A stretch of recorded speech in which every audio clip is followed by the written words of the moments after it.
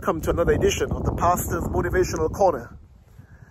Psalm 34 verse 1 says, I will bless the Lord at all times. His praise shall continually be in my mouth. Now folks, it is one thing to bless God when things are going good.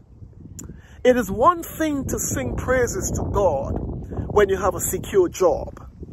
It is one thing to praise God when your health is intact. It's one thing to praise God when your marriage is going well and your children are doing fine. It's another thing to praise God when you are just told that you are made redundant. When you've just received bad news from the doctor and your family is falling apart. But yet, folks, the psalmist did not say that we will bless God when things are good. He said, I will bless the Lord at all times. His praise shall continually be in my mouth. It therefore means it doesn't matter what you are going through today, you can praise the Lord. You can bless his name. And the reason why you can bless God is that he is the same. God does not change like our circumstance. God does not waver like us. God is the only constant in this life. And it means, folks, that it doesn't matter what the weather looks like at your end. With Jesus, it is always calm.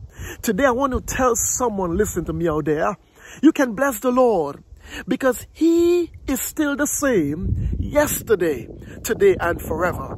He is a God who never changes. And hence, even when the outlook looks bleak, the uplook is always bright. Folks, today we can bless the Lord because our praises to God is not dependent on our circumstance. It is always dependent on who He is. And He is a forever faithful God.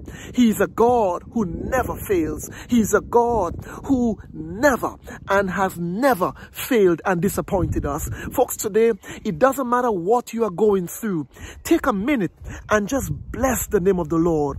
I know many of you have been through heartaches. Many are still going through the storm. But why not just stop for a moment and just remember that the fact you are listening to this video, it means that God has been good to you. He has spared your life. Yes, He has put food on your table, clothes on your back.